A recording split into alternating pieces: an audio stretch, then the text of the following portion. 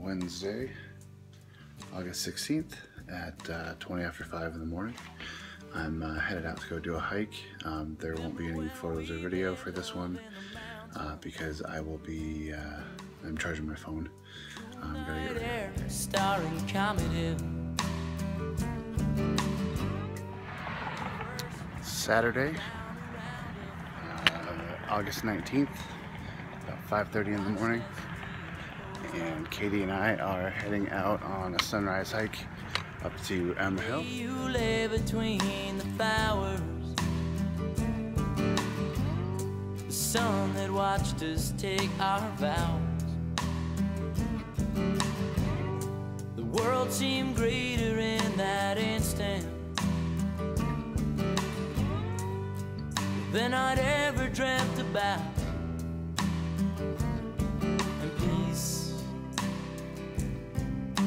Ideals that we achieved, romance.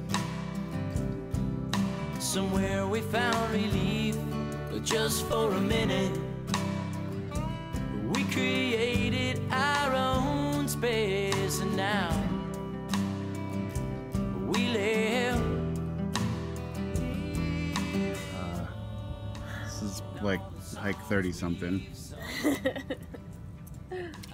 Been doing this this challenge for eight months. What are, what are your reflections so far? Um, I haven't been doing it, but uh, I've really enjoyed the time out with you. For the first few months, I was doing this um, weekly, doing a hike a week, and I really enjoyed that schedule. It gave me something to look forward to and something to plan each week, and I felt like I was um, experiencing parts of South Dakota that um, I maybe wouldn't have. But doing the challenge just sort of forced me to start prioritizing this again and getting up in the morning and, and doing these little short sunrise hikes. as we searched within ourselves.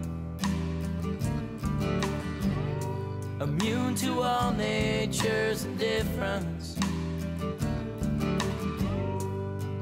Though it's heaven and it's hell. A dream of waterfalls and magic.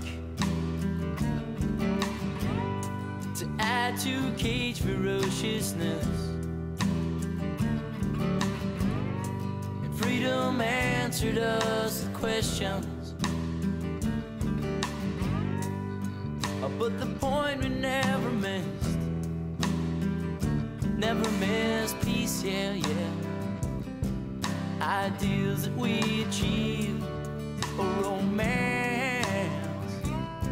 Somewhere we found relief. So I finally made it up for sunrise, which was pretty spectacular. It's off over that direction. And the sun is, you know, came up and went straight behind the clouds, but it was still, it's pretty cool to see it peek over the edge of the horizon.